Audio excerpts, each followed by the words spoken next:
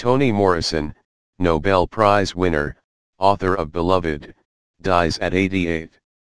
Toni Morrison, the first African American woman to win the Nobel Prize for Literature, is gone. But her unique voice, earthy, poetic, powerful, elliptical, endures in novels like Beloved, Song of Solomon, Sula and The Bluest Eye. She died Monday at age 88 in New York, according to her publisher. We are profoundly sad to report that Toni Morrison has died at the age of 88. She died last night at Montefiore Medical Center in New York, said Paul Bogaerts, EVP and Director of Communications of Knopf Doubleday. Her books gave expression to formerly unspoken truths of black life in America, past and present. Morrison may be best remembered as a literary genius who wrote about black people for other black people, yet her work had universal appeal. In their 1993 announcement, the Nobel Prize Committee noted that Morrison in novels characterized by visionary force and poetic import, gives life to an essential aspect of American reality. In 2012, Morrison was awarded the Presidential Medal of Freedom by President Obama. It is the highest civilian honor in the United States. In addition to her many literary prizes, the Pulitzer, the Nobel, the National Book Critics Circle, Morrison's books were bestsellers. She became familiar to millions of fans thanks to the efforts of her close friend, Oprah Winfrey. The cultural goddess featured Morrison and her novels on her television book club. Winfrey also produced the 1998 film version of Beloved and starred in the movie, along with Danny Glover, Thandie Newton, and Kimberly Elise. Jonathan Demme directed. The book explored the agony of slavery and how the experience could force a mother to kill her own child rather than let the child be returned to a life of slavery. On TV and in person, Morrison radiated a queenly presence, accented by her thick gray dreadlocks, watchful eyes, and regal, almost haughty, bearing. Toni Morrison was born in Lorain, Ohio, on February 18, 1931, the daughter of a welder and a homemaker, the second of four children.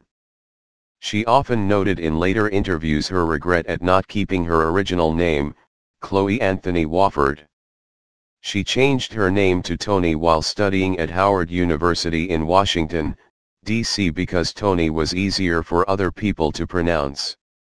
Morrison was the surname of her ex-husband, a Jamaican architect whom she divorced in 1964 after six years of marriage.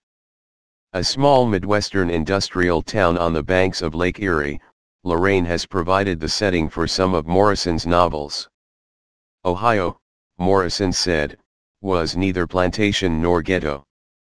Lorain was a gritty, working class town. Morrison's father had no time for whites, distrusting every word and every gesture of every white man on earth, she recalled.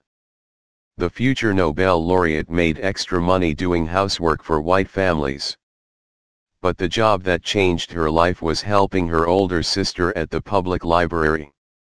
At age 14, Morrison became a fanatical reader inhaling the classics, from Austen to Joyce to Tolstoy.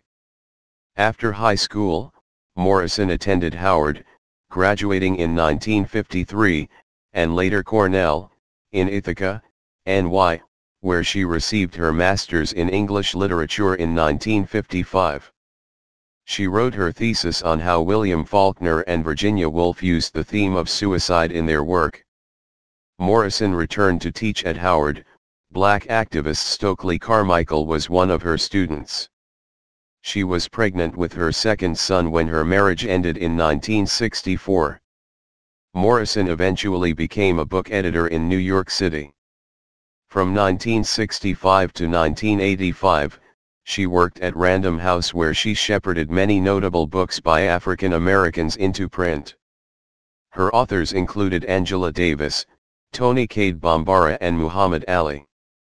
In 1974, She edited the influential and eclectic Black Book which presented a historical scrapbook of African American life. Morrison began writing fiction during her marriage but did not publish her first novel, The Bluest Eye, until 1970. The story revolves around a young black girl named Pecola Breedlove. Raped by her father, Pecola is eventually driven mad by her desire to become like Shirley Temple, the adored white child star. Stark in its pain and anguish, the novel brought forth the suppressed fury and harm wrought by racism. Morrison followed with the acclaimed Sula. The 1973 tale explored the complicated relationship between two black women growing up in the bottom, a rough area of a Midwestern town. In Sula, certain themes emerged that have continued to mark Morrison's work. They include black folklore elements, such as the supernatural. Morrison drew upon her family's oral tradition, her grandparents were originally from the South and her father was a gifted storyteller. It was in her third novel, 1977's Song of Solomon, that Morrison really established her standing among contemporary writers. The story explored the life of an African American man looking to find his place in the world. Magical elements brought comparisons to Gabriel Garcia Marquez. It was also the first novel by an African American writer to be chosen as a Book of the Month Club selection since Richard Wright's 1940 Native Son. Reviewing the book, novelist Anne Tyler wrote, I would call the book poetry, but that would seem to be denying its considerable power as a story. Black folklore also played a part in Morrison's 1981 novel Tar Baby, set in the Caribbean. One of most important aspects of Morrison's writing was her decision to write about the lives of black people for a black readership. When discussing Ralph Ellison's masterpiece, Invisible Man, Morrison often commented, invisible to whom?